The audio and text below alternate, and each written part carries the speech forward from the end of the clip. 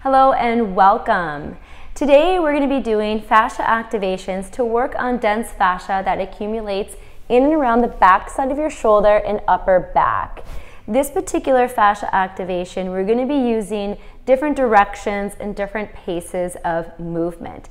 I know the work can be a little bit confusing in the beginning, knowing where to contract and what direction and where to move, but hang tight, keep practicing, and eventually the work will start to become intuitive for you. Today we're going to be down on the mat, so feel free to find a space or a mat, and that's it. No need for any extra tools or anything else. If you need a little extra cushion underneath your knees, feel free to roll up your mat at any point. Beginning first on your knees, knees are turned out and feet are together. Take a look at your distance here, and I want you to start to become aware of where your body's positioned that becomes very important because it can tell a story about the shape of who you are, your positions you hold throughout the day, and your posture. When we start to notice variations from right and left, which we all have, it just gives us more information about how we can work with the body to start to find a little bit more balance and release dense fascia and scar tissue in areas that might be inhibiting more alignment that would cause for less aches and pains and less risk of injuries. Okay, knees apart, feet together. We're gonna come down onto your elbows. Palms are gonna be facing each other. Sorry about my band-aid on my finger. I uh, cut myself with a chef's knife last night. It happens to us all. Okay, resist your hands down like you're karate chopping into the floor from your pinky all the way to your elbow.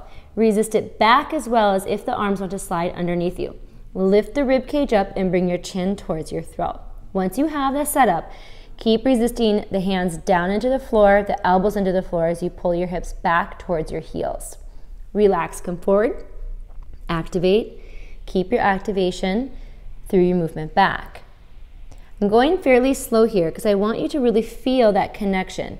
As you're pulling back, do you feel that the pinkies want to lift up off the mat? If so, try to connect them a little bit more thoughtfully and intentionally keeping that focus on activation through movement. Let's do two more here. Pressing down, karate chop into the floor, pull back. One more time. Press it down, karate chop, pull back. Good. Open your elbows a little bit here and bring your hands apart.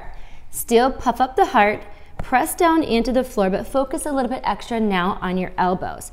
As you pull back, once you're almost as back as you feel like you have connection, lift your hands up.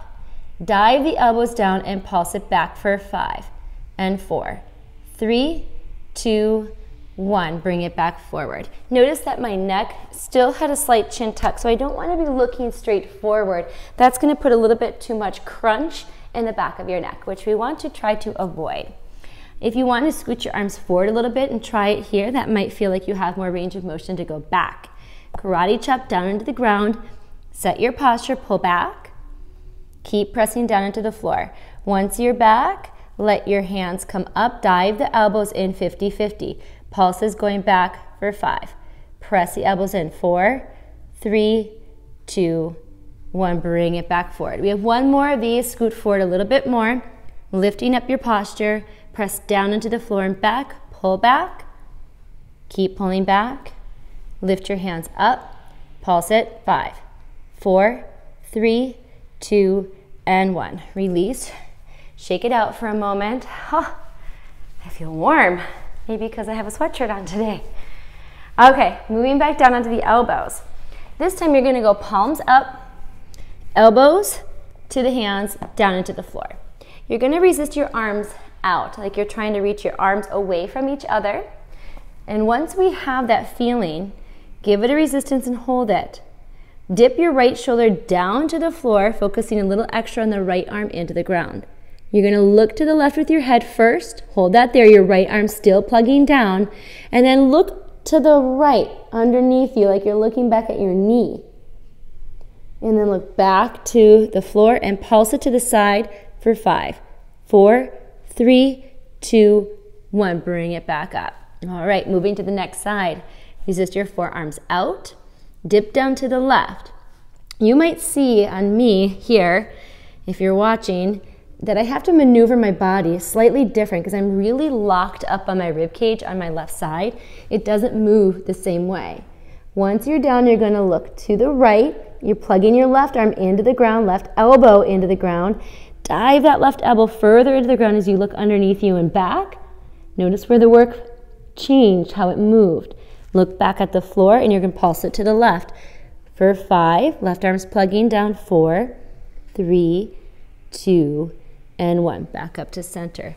Let it rest for a second.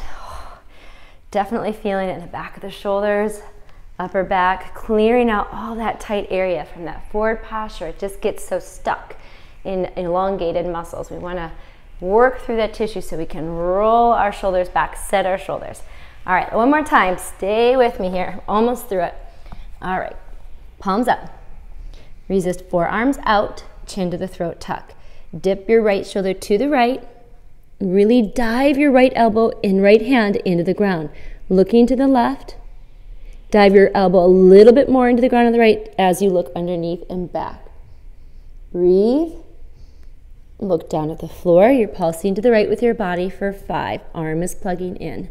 Four, three, two, and one. Back up and over. Resist both arms out.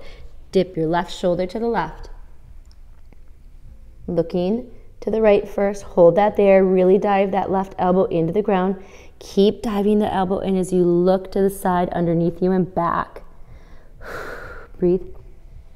Look back at the floor, pulsing your body to the left for five. Maybe you have more space to move your rib cage. Four, three, two, and one. Back up to center. Roll it back. Shake it out. Take a moment to sit here and retract your shoulders. Let the rib cage fall over the pelvis. We want the ribs to move. We want the shoulders to move. But when we're trying to align ourselves, we want to feel what that's like. Once you have your shoulders set, chin to the throat tuck, rib cage stays in, reach your arms up high, and exhale out to the side and down. Think of that space across the front of the chest one more time. Open it up. Feel the space in the muscles in the back contracting together to help keep your shoulders in their home. Shoulders lift up to the ears and down. One more time. Up and down. Awesome. Great job today. Thank you so much for trying the fascia activations with me. If you have any questions, please let me know. Would be happy to help you out. It definitely feels unique for every person, and where you feel it from right to left is unique as well. Enjoy the ride. I'm here for you, and I'll be seeing you again soon. Thanks.